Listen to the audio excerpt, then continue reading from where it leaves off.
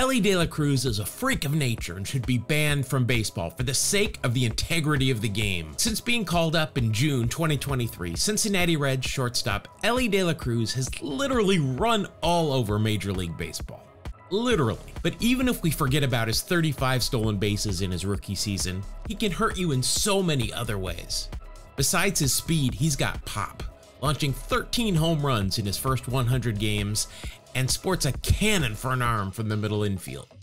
But let's focus on career home run number 6. The Reds are in Milwaukee, where only two weeks prior, Elly De La Chaos stole three bases on two pitches. That's right, three bases, two pitches. Now, I went to a Pac 12 school, so check my work, but I believe the number three is larger than the number two.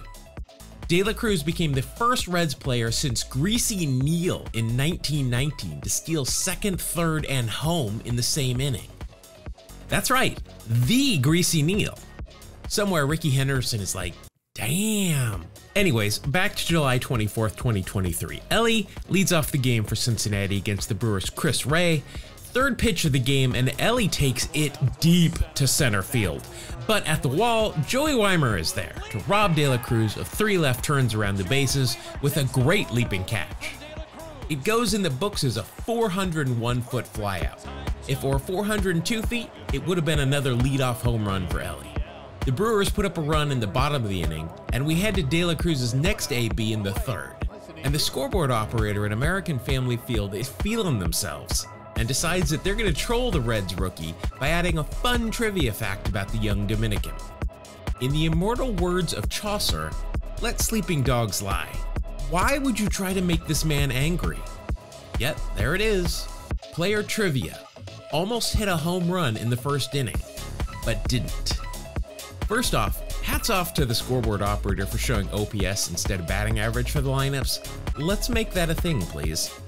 Back to Elly's second at bat top of the third, one out, nobody on, and this time he makes sure that Joey Wiemer can't get to it as he tattoos this ball literally into another zip code.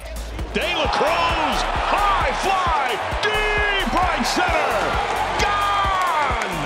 That's out of the stadium. It went over the SUV. It cleared the stands. That ball had a family. The Brewers would go on to score a walk-off win in the bottom of the ninth inning off closer Alexis Diaz to win the game 3-2, but nobody remembers that. Nobody nobody's making a video about Christian Yelich's RBI walk-off single. Christian Yelich's mom doesn't even remember that. But everybody remembers the time that the Brewers tried to troll one of MLB's most exciting young players and failed.